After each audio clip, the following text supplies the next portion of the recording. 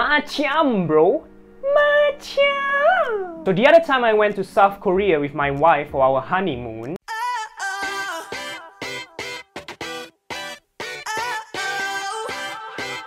I did not take a lot of clips during our honeymoon because it's a honeymoon lah bro. But of course I put some Insta story where you can see but I'm gonna share it here in this video also you know. And also this video is actually about the budget of our honeymoon. How much we spent at Korea and what we did. So that you guys, those who want to go to Korea, Annyeong Haseyo, you can also see how much the price range and all okay. Actually it's not so expensive lah bro. Can be cheaper okay. We spent 4.2k for everything. Everything okay? This is what we spent on. I'm gonna put the price list somewhere around here. We spent on flight and guest house for 2254. We went on 4th to 11 March. We stayed at K Guest House, but they changed the name. They changed it to Stay 7. And then we put aside money for food, 430. We put transport money, bus and MRT. We put aside about 120. Shopping was 500 per person, so total 1k. But we overspent. We bought Lush. Activities, we put 160 activities I mean going on tours and also theme park. Lastly, the Wi-Fi. It's about 21 Sing dollars. We had excess money, but we used that excess money, you know, to buy food and so on. Okay, so come, I'm gonna share with you what we did over there for about seven days, eight days, seven days, eight days, seven nights. Okay, on the first day we did nothing. So basically, go there lepak, bro. Okay, on our first day because we stayed at Myeongdong, and my main idea is to always stay at Myeongdong so that shopping is the last thing on our mind because you can just go to Myeongdong and just shop for shoes, clothes. It's there. We had dinner at Malaysia Kampung Ku Cuisine, whereby we had tom yum, nasi goreng. Now, on to the second day. The second day, we went to Seoul Tower.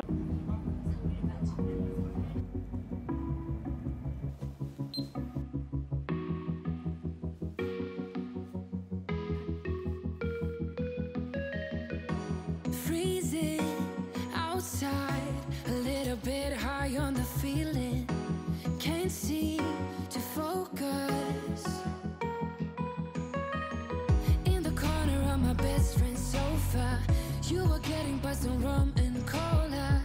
The same day we went to Seoul Tower, we actually went to Stationery Street. Over there, you have a lot of different stationeries and also a lot of toys. If you want to buy a lot of toys, you can go there. On the third day, we went to Lotte World.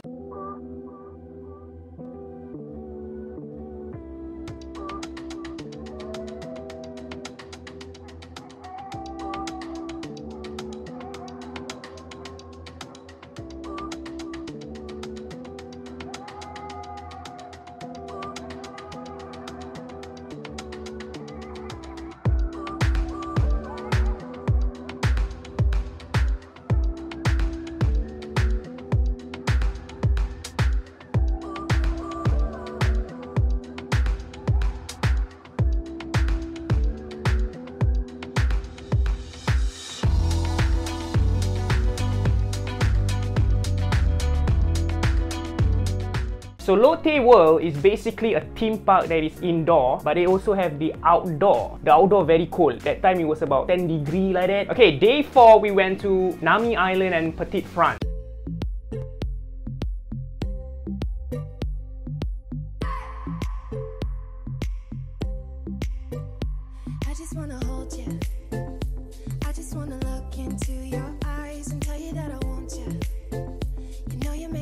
So stop thinking about you day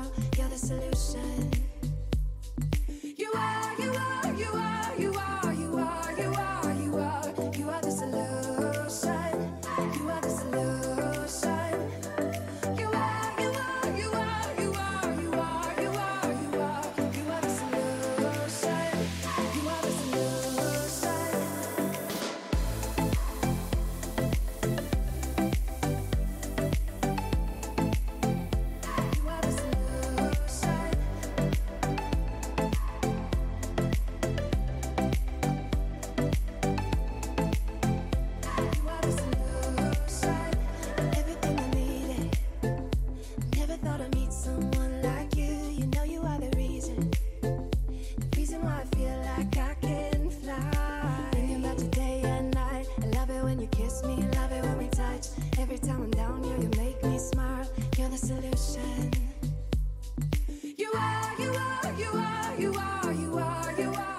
Day 5, we went to Insadong. Okay, over there is the place where me and my wife wore our hanbok. We ran. We ran the hanboks. We went to the palace. You know, we look like those palace era type. We enjoy ourselves, you know, looking like a king and a queen, the Lepak king, the Lepak queen. And also, if I remember correctly, when we already ran the hanbok, you can go in the palace at Insadong for free. And also go in there and just take a lot of pictures. We enjoy going there. Day 5, we went to Hongdae and Ewha. Basically, Hongdae is like Bugis. Ewha is like a girl Bugis. And also, just shop, shop and shop till you drop. Day 6 and day 7 was our free day. So basically we went to Myeongdong shop, we bought street food, we bought seafood, we shop and shop. Like I said, we shop Lush. We overspent on Lush. I'm gonna make a Lush haul with my wife for the next video, so stay tuned for that. And day 8, we went home. That's it. Thing is, every year, thankfully I managed to go to Korea and hopefully at the end of the year I'm going to go there again. And you might be wondering what we ate over there. Okay, we ate miso soup, pancake, miso soup, waffle, seafood, miso soup. I remember going to the halal food store, the halal kitchen, I think. And miso soup, yeah, I came out eating the miso soup at Busanji. Love it, love it, love it, love it. Okay, actually, that's about it. Oh, well, that's about it. That's that was my honeymoon. I didn't take a lot of clips because it's a honeymoon, bro. Spend it with your loved one, lah, bro. Don't take video, take picture all that. I mean, I took a lot, lah, but not so much. Macam baik.